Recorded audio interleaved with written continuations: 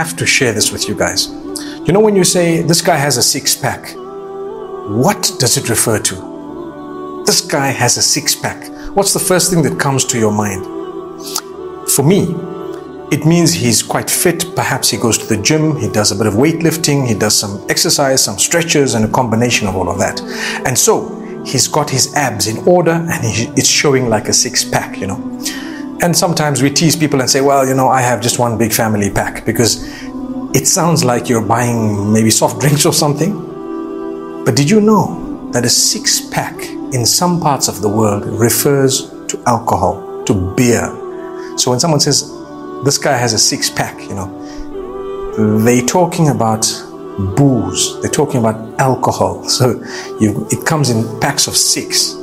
And the strange thing is, when you have one big round belly, some people call it a beer belly because those who drink beer, uh, we're not referring here to the Muslimin amongst us because we hope that we wouldn't be drinking, but those who drink beer, sometimes when they excessively drink, apparently they develop a, a big belly, you know, one big family pack. So, and that's called a beer belly.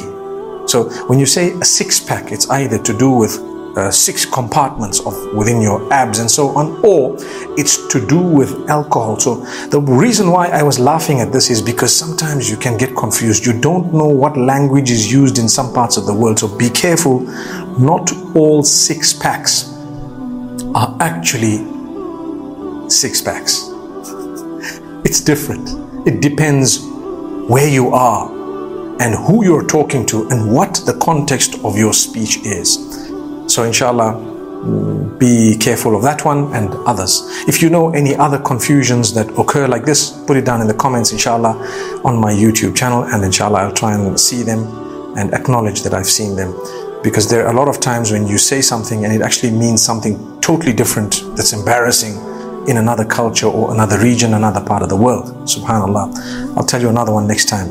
MashaAllah. In the meantime, Assalamu alaikum wa rahmatullah.